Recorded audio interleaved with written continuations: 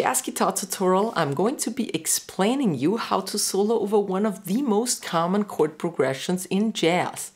The minor cadence, also called a 2-5-1 in minor. You're gonna learn 2-5-1 minor licks for each of the five positions on the neck. Hi my dear jazz guitar enthusiasts and Germany, greetings from Austria.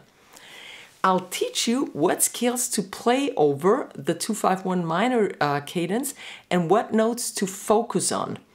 Learning licks will help you understand and get a feeling for the jazz idiom. I've made tabs and backing tracks which you can download from one of the links down below in uh, the description box.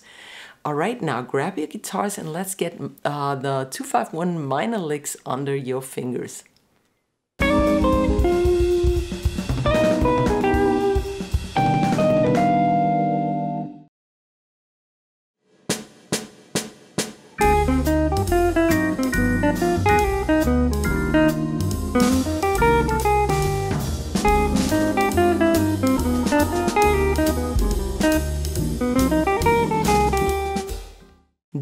Diminished is the seventh degree of the E flat major scale and it's called D Locrian. We are in a 2-5-1 in minor, so this is, you have to count from the parallel minor of E flat and that's C minor.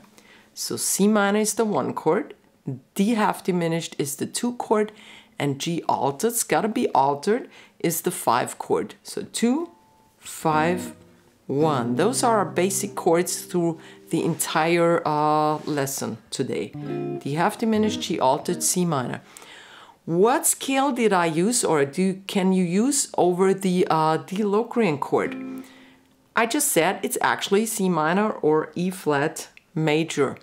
The thing is, just look at these chords they just lie next to each other and all the chord tones because what do you got to do in jazz and actually every music uh, style focus on the chord tones that's so important so i'm thinking e flat major and what i would focus on would be the e flat major 7 chord because that's the chord that i associate with the e flat major scale and that's not good because it's just all the wrong chord tones right? The scale is correct, but the chord tones are wrong. So what I do is I focus on these, or I have a little trick, and I have a video up here for that trick. It's called the Dorian trick. I'm one of those persons who thinks a lot of a lot of stuff in Dorian. So instead of thinking particularly Locrian and relearning all licks for Locrian, I think the second degree of the scale, F Dorian, because that's compatible. F minor 7 chord tones are F, A flat, C, and E flat, and those are almost the same chord tones as D half diminished, which has D, F, A flat, C. So when I play an F minor chord arpeggio or thinking F Dorian, I focus on, on the same chord tones that this one has, so they're compatible. And that's what I do here. First I show you the scale, uh, the um, E flat major scale.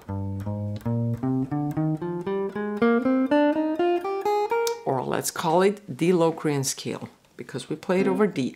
And here's one of my F Dorian licks. So the trick is just move from the D Locrian, one, two, three to the right, and play one of your Dorian licks. I hope you got plenty of those in your repertoire. If not, check out one of my Dorian lessons.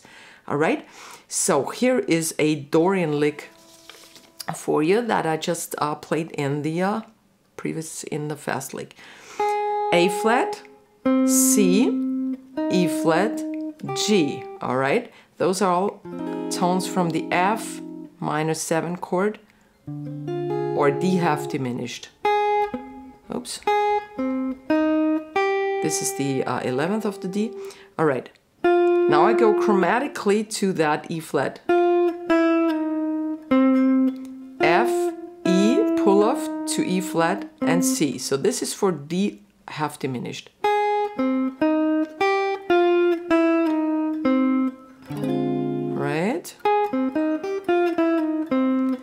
Next we have the G chord and I told you it's got to be altered because it resolves to a minor chord and we can't play a 13 or something because then we'd have the E in there. We need the E flat. we are in in a key of E flat, actually, C minor. All right, so um, here is a G altered lick. The scale is up here somewhere. First thing I play is I start from a chord tone and I play a diminished arpeggio. Diminished arpeggios go very well over altered chords. D, F, and A flat because it shapes a G7 flat 9 chord actually. And now I make a pull off and I go to the altered scale. That's the E flat and I bar over, bridge over to the B, A flat, that's the flat 9, so that's totally a um, G altered scale. Well, this was from the diminished scale, this is from the altered scale. And here's the resolution. This one is the fifth of the C minor, okay? And I play the G and I play the E flat. This, these are chord tones. And now what do I do over C minor other than playing chord tones? Well, actually that's about it. I play the C minor 7 arpeggio plus the ninth often. So my suggestion for you is to play a C minor 9 pentatonic why not play the uh, according um, the correct scale would be C Aeolian. That's the E flat major scale again, sixth degree of the E flat major scale. Well, it has that A flat in there, and an A flat compared to a C, uh, to a C minor is the flat sixth. Some people, including myself, like to prefer the uh, C Dorian scale, even though that's wrong but it has a very jazzy touch to, to it. And this one would have the major six, that's the A. Actually, both of them are so-called avoid notes. A and A flat are nothing you want to land on, okay? So you just would kind of pass them by, use them as passing notes. That's totally fine. You have, for example, you have arpeggio tones here. These, this is the C minor 7 arpeggio. And exactly in between, what you have is that sixth of the Dorian scale and a flat sixth. So what I often do is things like this, and I do it in this lick too. So I start with my resolution. I always want to have chord tones on the resolution. And now I play a chromatic that belongs actually actually to the uh, melodic minor scale. Um, going to the root, but it's just kind of a pickup note. Play the arpeggio again of that chord. B flat, arpeggio uh, tone, and now I do exactly what I just told you. I play the Dorian note as a passing tone, the Aeolian note as a passing tone, and I land on the fifth of the chord. Perfect, right? So please learn the minor pentatonic if you don't already know it, plus the ninth is always good. I did not include the ninth in this lick, but it's gonna be in, in the next licks a lot, so please check it out.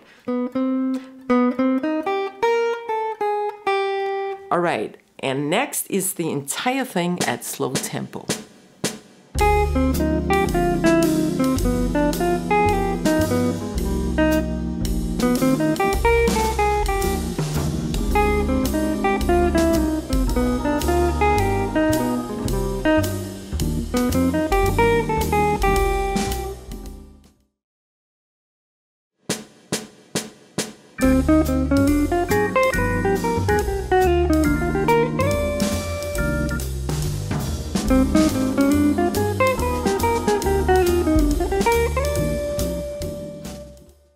All right, welcome to the second lick. We're now in the fourth pattern of uh, E flat major, C minor, or in the starting case, uh, D half diminished, D Locrian.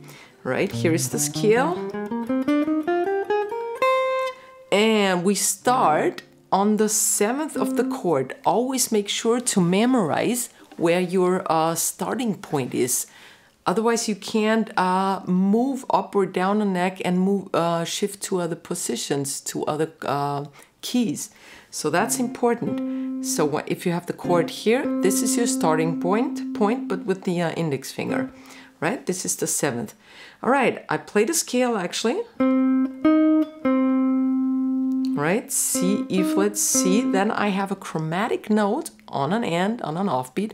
One and two and, that's where it belongs. And now it goes to the good note, the root. And I'll play D half diminished arpeggio. D, F, A flat, C. Actually, this is one of my F Dorian lines again, so you see they're compatible. F, A flat, C.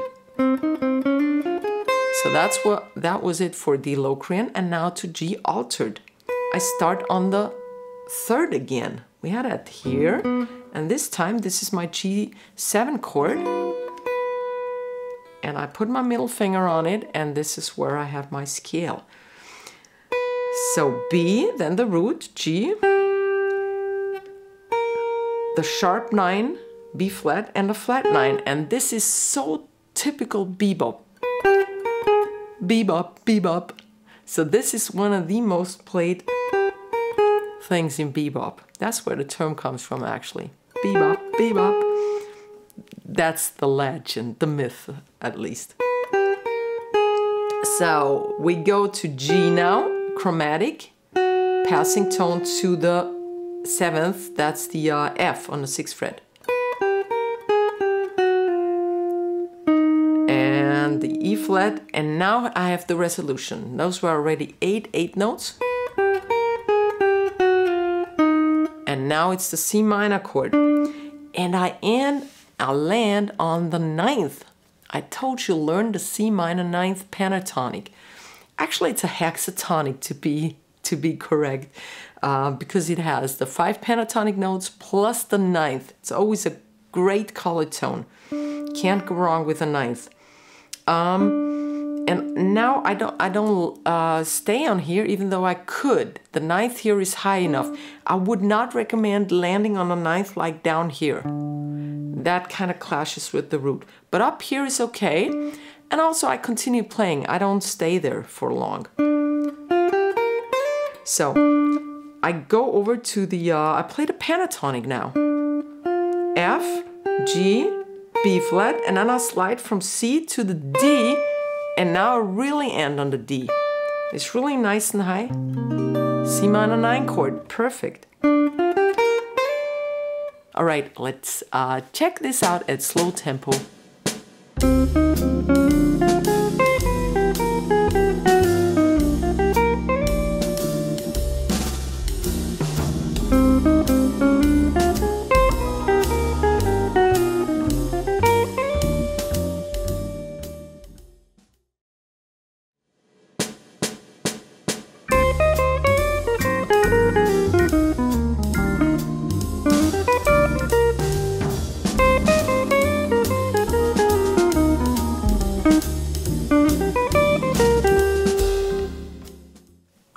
Lick 3. This is our scale. Here we are, actually here we are, C, I'm thinking F Dorian immediately.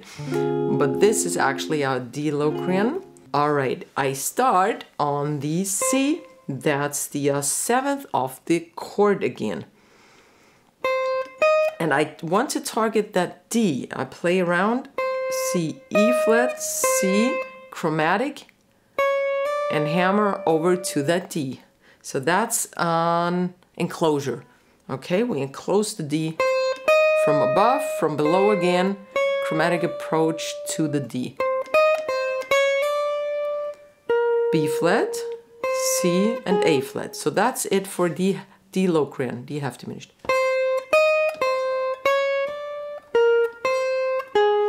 And now G altered scale. A really nice lick in G altered. Here's G7 sharp 9. I start on the sharp 9. Go over to the flat 9, A flat. Root.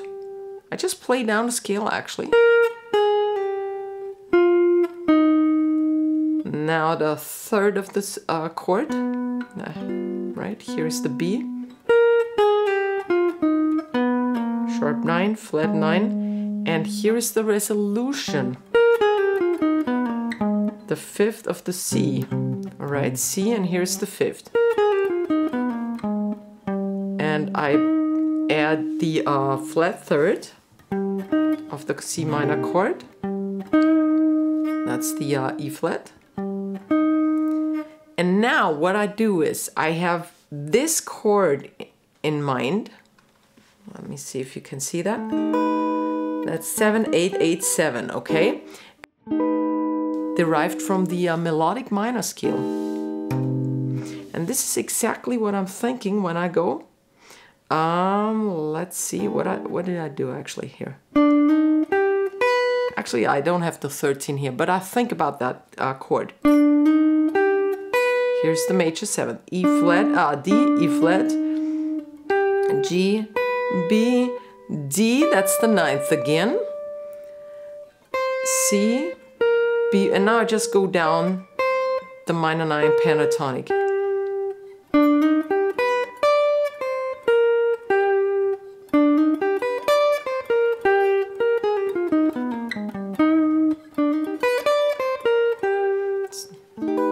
All right, and here's the entire thing at slow tempo.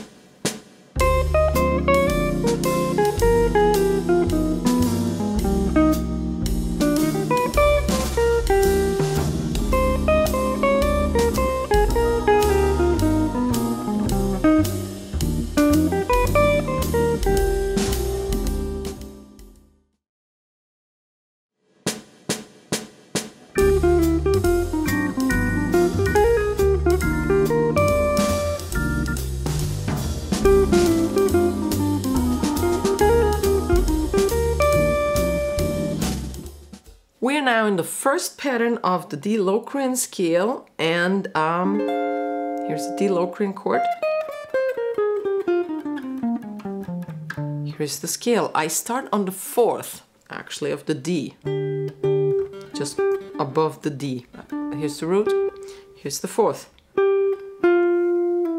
I go down, this one does not belong to the scale. That's the ninth, so that would make it for a D Locrian ninth scale. But what I have in mind is this. This is the third of the D half diminished. That's why I want to land on count number three. One and two and three. Here I am. So this is another enclosure for this F. Then I continue with the scale, E flat, D, C. Now it's for the G altered. I go to the third. You see I start liking on the third. Actually, that's not my line, that's Charlie Parker's line. So uh, he liked to start on the third too. Uh, so this is Charlie Parker's altered line. Um, and he spells a G7 chord actually the third of the G7, the fifth of the G7, the seventh of the G7, and the root B, D, F, G. And now he added the flat ninth, A flat. Here's the chord. Always have the chord relations in mind. Sharp nine. Uh, and we hammer this and uh, pull. So I think you call this a triller.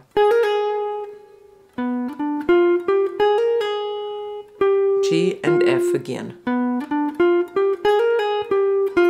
So that's over the G altered chord. Now we have C minor, and I told you C minor 9 pentatonic is fine. And another thing that's really cool is um, to see, superimpose an E flat major 7 chord over the C minor, and that would be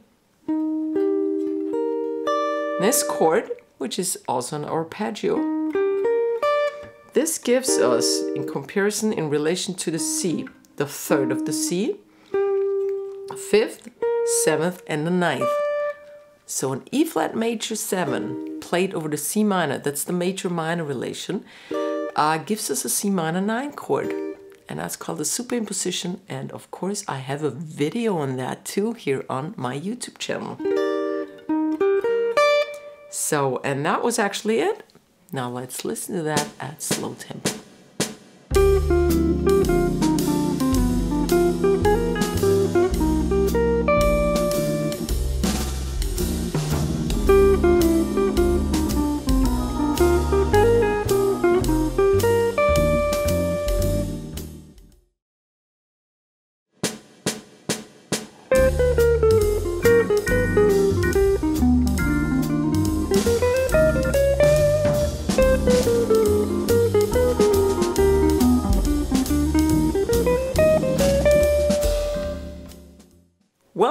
Last lick. We are here at the half diminished 12th fret. And here's the scale, the Locrian. And I start on the 7th of the chord, and that's the uh, 13 here, the C. All right, actually it's a Joe Pass line. That's a great lick. Um, C, chromatic, scale tone, chromatic, scale tone. Make a pull off here. And now we just play around that F minor thing here. F, minor pentatonic I mean. B flat and A flat again. So, bridge over. That's it for D half diminished. Now G altered is a great Joe Pass line. Starts on the uh, third of the chord, B, goes down to flat 9, slide to the G, to the F, that's all within the altered scale. And now go back to G and we play a G augmented triad. This is symmetrical. Backwards. G, D sharp or E flat, B, that's the third, and the G. So uh, played against the G7 chord, this gives us a G7 sharp 5. Here's the sharp 5 or flat 13, the third and the root.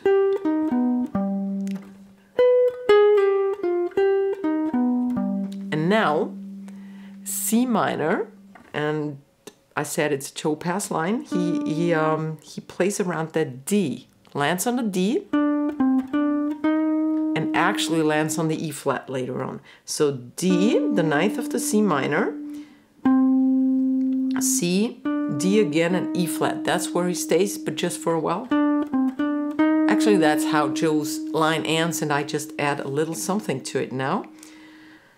Uh, G, B flat, major 7. I thought that's kind of nice, having a little melodic minor in there, sliding up to the C. And now I embell, uh, I enclose, I keep forgetting this word, the D.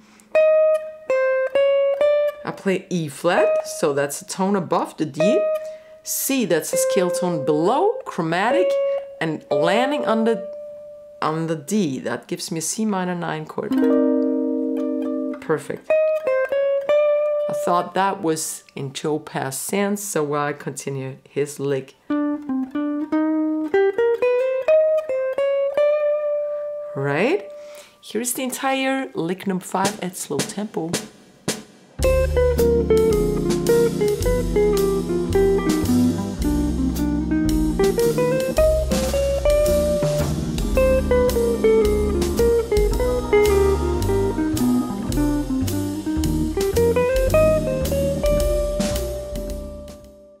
I think you may want to find my Dorian lessons helpful for the 251s in minor.